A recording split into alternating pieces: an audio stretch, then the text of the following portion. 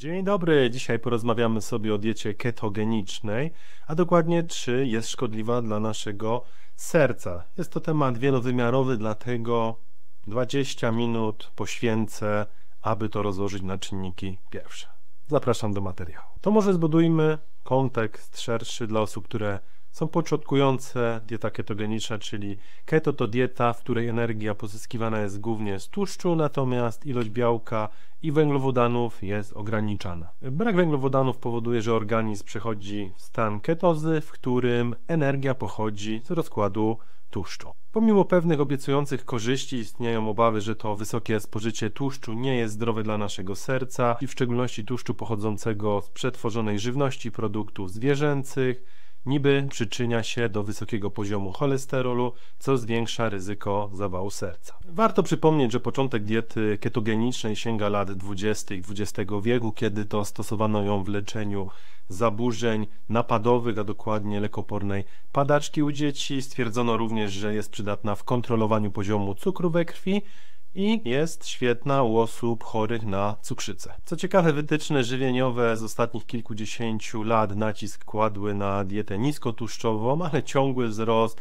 liczby przypadków właśnie otyłości czy cukrzycy ponownie wzbudził zainteresowanie dietą ketonową ze względu właśnie na jej rolę w utracie wagi i kontrolowaniu poziomu cukru we krwi. To może jeszcze przypomnimy, czym jest stan ketozy. Pamiętajmy, że pożywienie dostarcza nam makroskładników, czyli związków rozkładanych w naszym ciele, aby dostarczyć nam energii. Mamy tłuszcze, białko i węglowodany. Przykładowo tłuszcze rozkładane są do kwasów tłuszczowych, a białko do aminokwasów. Z kolei węglowodany rozkładają się na cukry proste, takie jak glukoza, które są wykorzystywane głównie jako źródło energii w organizmie. Dotyczy to w szczególności naszego mózgu, ponieważ tłuszcz nie może przekroczyć bariery krew-mózg, aby zapewnić nam energię. Pod wpływem rozkładu tłuszczu dochodzi do powstawania ketonu, zwłaszcza beta-hydroksymaślan, który świetnie energetyzuje nasz mózg, wspiera funkcjonowanie naszych neuronów, poprawia funkcje kognitywne. Często ten brain fog ściąga, czyli zamulony, taki zmęczony mózg. Dużo lepiej nasz mózg po prostu funkcjonuje. Jak już jesteśmy przy beta-hydroksie maślanie, to też warto wspomnieć i rozszerzyć te informacje o fakty, że dobrze wpływa na neurogenezę, zmniejsza ryzyko chorób neurodegeneracyjnych, a jak już ktoś ma to często zaobserwowano w wielu badaniach i behawioralnie, że zmniejsza objawy Alzheimera czy Parkinsona.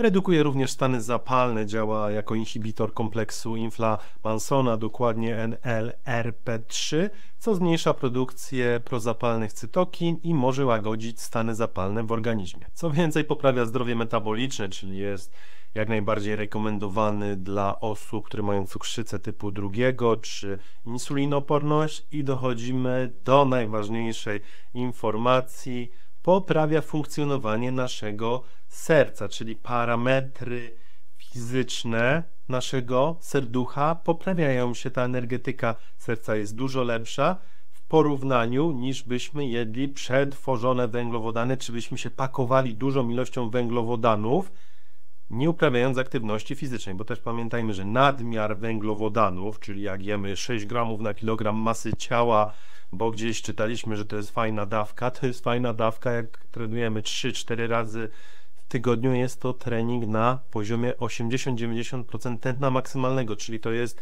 trening glikolityczny. Osoby, które mają siedzący tryb życia, przykładowo mają jogę 2-3 razy w tygodniu i bardziej spacery, jest to delikatny trening, no to przykładowo dieta keto dla nich będzie dużo lepsza, ale nie wyobrażam sobie z kolei, żeby taki hardcore treningowy, gdzie ma mnóstwo tych treningów, był na keto. Dlatego pamiętajmy, że to wszystko zależy od kontekstu. Warto podkreślić, że istnieje wiele diet ograniczających węglowodany, ale prawdziwa dieta ketogeniczna to taka, która wywołuje stan ketozy, a dokładnie wielkość ograniczania węglowodanów, która wpływa na ketozę, jest różna u poszczególnych osób, ale rzecz ujmując tak ogólnie, ketoza występuje, gdy mniej niż 10% całkowitego spożycia pochodzi z węglowodanów, co wynosi około między 10 a 50 gramów dziennie w zależności od zapotrzebowania kalorycznego.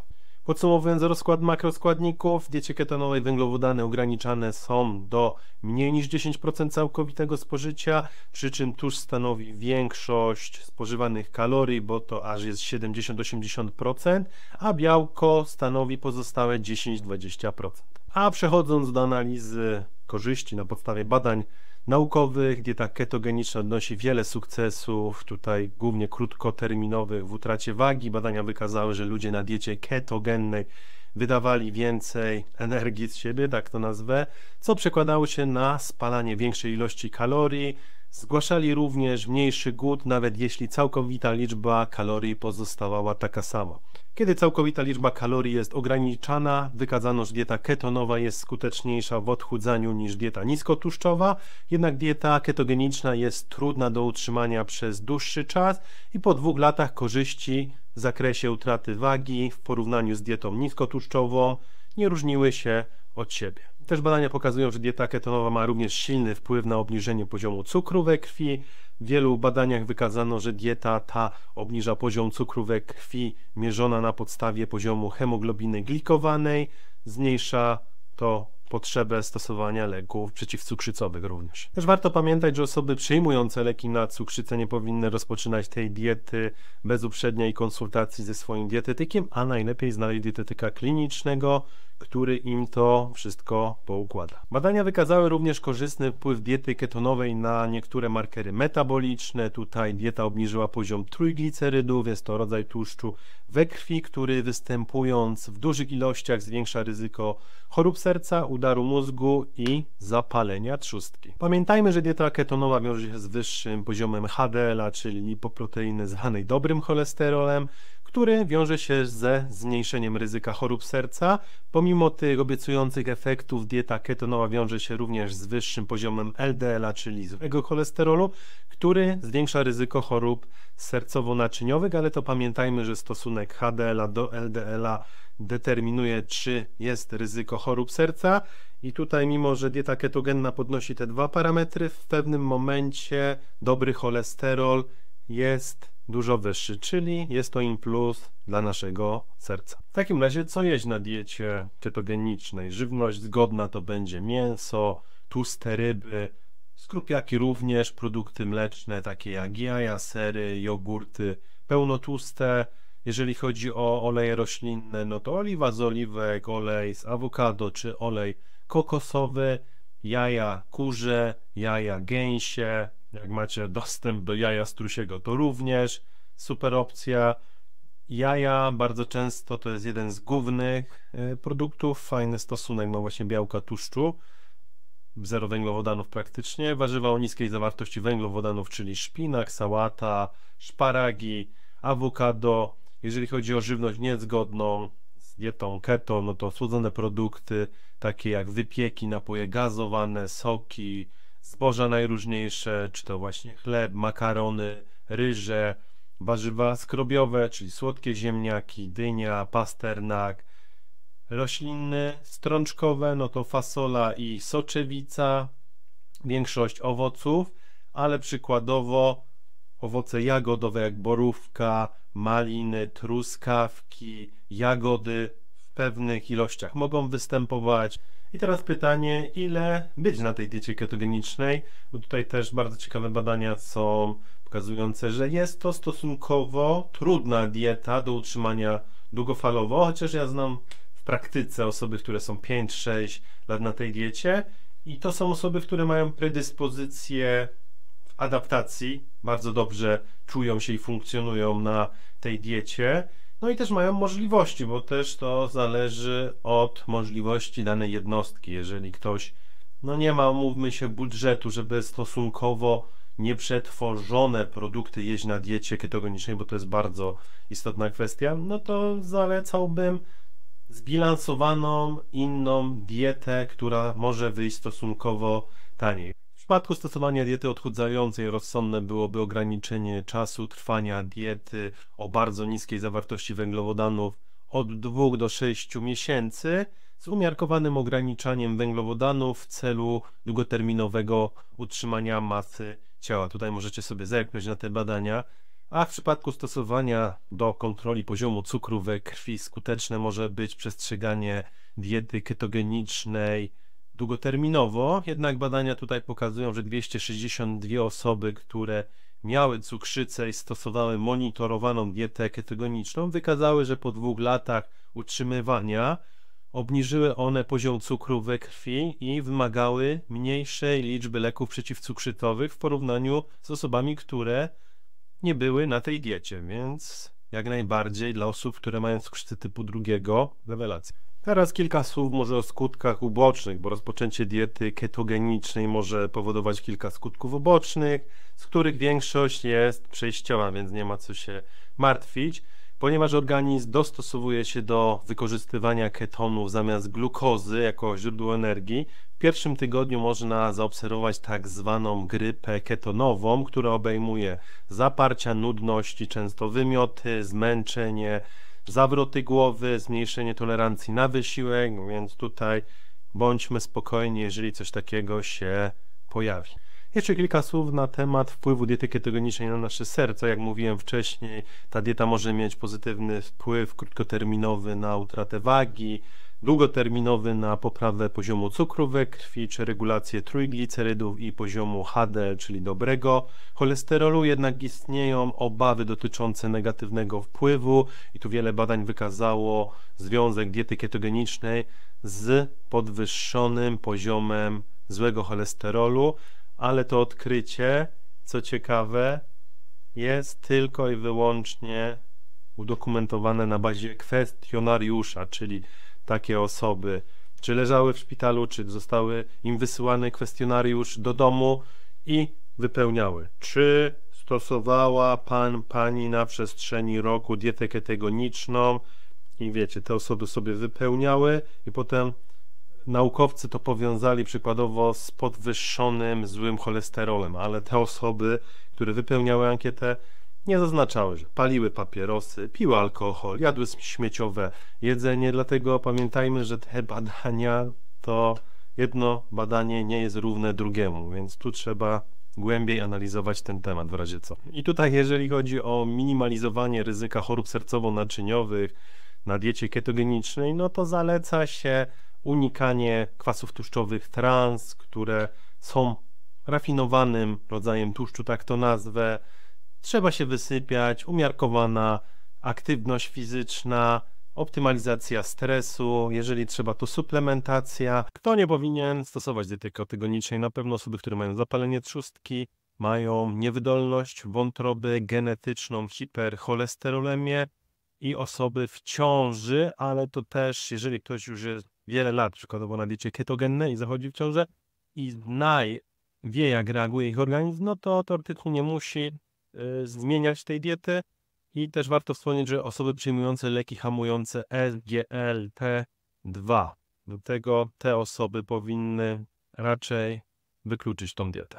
Pamiętajmy, że ścisłe ograniczanie węglowodanów i unikanie warzyw bogatych w składniki odżywcze może powodować niedobory witamin i minerałów takich jak m.in. potas, magnez, kwas foliowy, tiamina i witamina C Równie trzeba podkreślić, że dieta ketogeniczna może być również niebezpieczna dla osób przyjmujących insulinę i inne leki obniżające poziom cukru we krwi, ponieważ może to powodować niebezpieczny spadek poziomu cukru we krwi. Dlatego miejcie to na uwadze i analizujcie takie niuanse. I też chcę jeszcze raz podkreślić, że keto czyste polega na jedzeniu nieprzetworzonych produktów typu mięsa dobrej jakości, orzechy, nasiona, oliwy, pestki, owoce morza, bo jeżeli ktoś myśli, że keto to jest szynka marketowa i parówka, no to się myli. To jest właśnie wtedy przepis na choroby sercowo-naczyniowe, udary, zawały, ale jeżeli jemy to na zasadzie dobrych, nieprzetworzonych produktów i dodamy warzywa nieskrobiowe, owoce jagodowe, to jest rewelacja, nasze serce będzie procesować progres. Wiem jak trudne jest komponowanie posiłków w formacie ketogenicznym, dlatego w opisie macie przypięty link do PDF-a, gdzie możecie sobie zobaczyć najróżniejsze przepisy jakie produkty w ogóle można używać i jakie dania z nich będziemy robić, bo to są właśnie czy to pieczony łosoś, czy nawet pieczony boczek, steki, gularze, czy nawet można znaleźć takie perełki jak ciasto czekoladowe na bazie migdałów z dużą ilością tłuszczu i sporą ilością białka, gdzie też będzie taki akcent ewentualnie deserowy. A jeżeli chcecie, aby te przepisy były dopasowane do waszego zapotrzebowania kalorycznego, czy też właśnie celu budowania masy mięśniowej czy redukcja, macie aplikację, możecie sobie wejść w zaplanuj tydzień i powybierać te wszystkie dania ketogeniczne, które wam będą odpowiadać i to wszystko będzie się dopasowywać pod was. Więcej informacji macie w opisie pod filmem. I na koniec kilka słów, jak istotne jest znaczenie tłuszczu w diecie, bo wybór źródła jest kluczowym elementem dla zdrowia naszego serca. Pamiętajmy, że zdrowe tłuszcze, takie jak tłuszcze jednonienasycone i wielonienasycone, wspierają zdrowie całego profilu lipidowego podczas gdy kwasy tłuszczowe trans wpływają negatywnie, powodują stres oksydacyjny, utlenianie się tego cholesterolu i odkładanie się również blaszek miażdżycowych, elastyczność naszych tętnic się pogarsza, może dojść do podwyższonego ciśnienia krwi, a to już jest równia pochyła do chorób sercowo-naczyniowych. I pamiętajmy, tłuszcze jednonienasycone możemy znaleźć w oliwie z oliwek, awokado, orzechy. One mają zdolność do poprawy tej tego ekosystemu lipidowego, dlatego to wpływa na poprawę zdrowia naszego serca. To samo tyczy się wielonienasyconych kwasów tłuszczowych, gdzie znajdują się w rybach, orzechach, nasionach.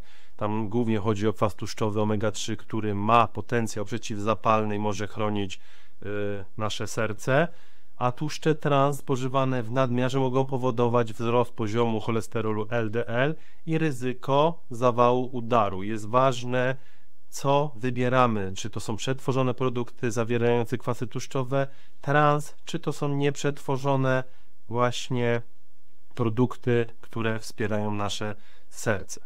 No i też nie możemy zapomnieć o takich czynnikach nieżywieniowych jak stres, który może podnieść poziom kortyzolu, co z kolei może prowadzić do wzrostu poziomu cholesterolu, tego złego i też podnosi również ciśnienie krwi, brak snu chroniczny zwłaszcza może prowadzić do zaburzeń metabolicznych takich jak insulinoporność, co zwiększa ryzyko serca, aktywność fizyczna, czyli tutaj spacery. No i oczywiście regularna aktywność fizyczna wspiera zdrowie serca, obniża poziom trójglicerydów i podnosi poziom cholesterolu HDL. To jest mega istotne, bo jak ktoś myśli, że będzie miał te parametry niezadbane, czyli brak snu, brak aktywności, przewlekły stres i będzie na diecie ketogennej i będzie mimo wszystko był na czystej diecie ketogennej, to nie ma gwarancji, że jego serce nie dostanie rykoszetem, dlatego pamiętajmy o tym. Dlatego zrozumienie biochemicznych procesów zachodzących w organizmie podczas diety ketogenicznej pozwala nam lepiej zrozumieć, jak ona wpływa na nasze zdrowie. I właściwie zbilansowana dieta bogata w zdrowe tłuszcze i uzupełniona o zdrowe nawyki żywieniowe może wspierać nasze zdrowie metaboliczne, w tym sercu. No i dlatego też te wszystkie czynniki, o których mówiłem, bardzo dobrze, aby były zadbane w jednej całości. Tyle ode mnie. Jeżeli macie pytania, piszcie w komentarzu. Do zobaczenia.